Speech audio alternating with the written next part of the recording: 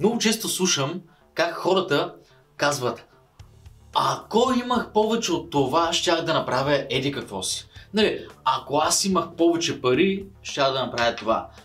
Ако а, получавах повече еди какво си, щях да направя това. Ако моята фейсбук страница стигне до еди колко се абоната, тогава вече ще правя по-качествени неща. Ако мой инстаграм профил стигне до, нали, ако го фокусираме върху маркетинга, ако мой инстаграм профил стигне до толкова част да стана а, познат, инфуенсър, тогава ще започна да правя ето така. А, примерно да правя по-готини неща, по-добри неща, да се старая повече.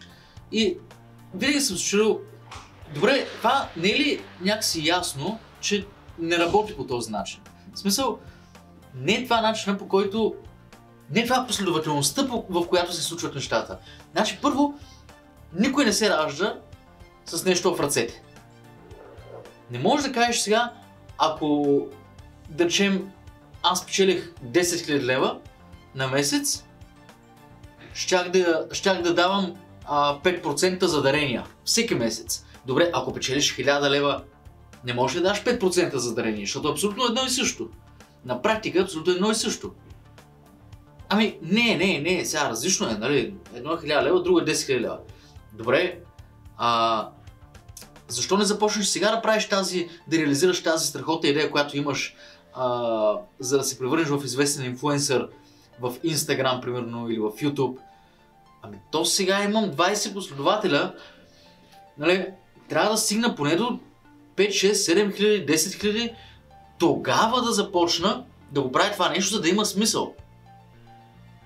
Добре, ама нали сещаш, че ти ако не започнеш сега да го правиш, няма да има смисъл тези хора те следват, така че никога няма да стигнеш до това ниво, което за теб е смисленото ниво.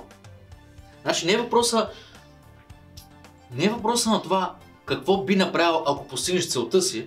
Въпросът е, готов ли си да го направиш преди да я постигнеш, за да я постигнеш? Примерно, а, това видео е в един YouTube канал. Това, което гледаш в момента, е качено в един YouTube канал. Този YouTube канал имаше 0 абонати. Преди, може би, година и, година и половина. А, и имаше, може би, около 3, 4, 5 до преди 6 месеца. И от 6 месеца насам, виж в момента колко са. Нали, в момента на качването на това видео са някъде около 500 човека. Значи, може ли аз да кажа, ще чакам да, да дойдат повече хора и тогава ще кажа нещо смислено. Ами аз с един път да кажа нещо супер смислено, хората го хващат и го споделят и тогава идват хората, защото аз вече съм дал доказателство, че това, което правя, се стремя да има качество.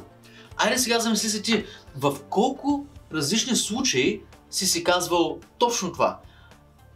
По-добре да изчакам, за да, за да си постигна целта, целта, а тогава ще направя това, от което има нужда, за да си постигна целта. Нали, това е малко като първо да ми платят заплата, пък аз тогава ще ходя един месец на работа. Що не го пробваш това някой път? Май няма да се получава. Да, може някой ти предплати нещо, ама трябва да има доказателство, че ти реално ще свършиш работата. Понякога ние искаме предплата, когато искаме предплата, а, клиента не се притеснява да ни предплати, защото знае, че работа ще бъде свършена. Защото сме работили от известно време и няма никакъв проблем. И примерно на мен ми трябва, за да, извър... за да свърша тази работа, ми трябва, трябва да направя някаква инвестиция, която предпочитам да ни я правя и предпочитам клиента да си плати за това предварително. Клиента си плаща, ние го правим, предаваме, благодаря ви много. Нали?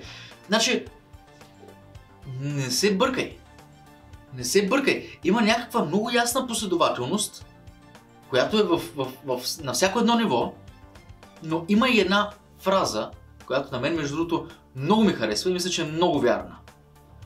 Ако си верен в малкото, ще бъдеш верен в многото.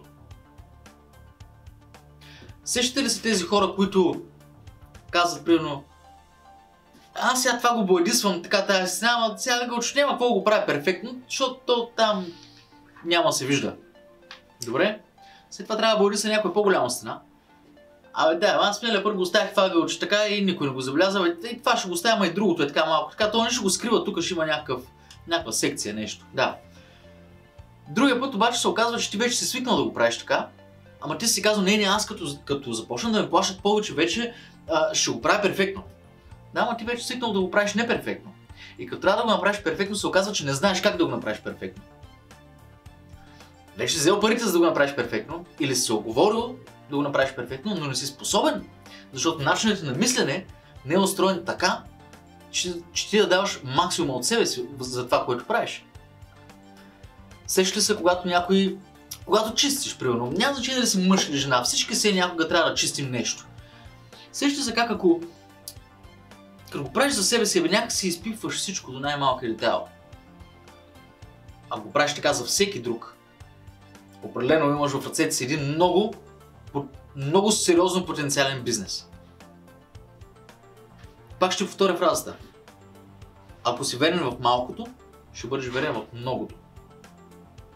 Но ако си казваш в началото, това е дребна работа, няма нужда чак толкова да се старая, повярваме, когато дойде момента за едрата работа, не че няма да, не, че няма да усетиш нуждата, ти няма да имаш способността. Помисли си дали, дали си измислям или, или си го виждал това някъде по света и в живота. Аз съм убеден, че в твоя живот се е случвало, защото в живота на всеки човек се е случва това. Нещо да не го доизпипаш, защото си казваш, че това няма какво толкова да го изпипвам.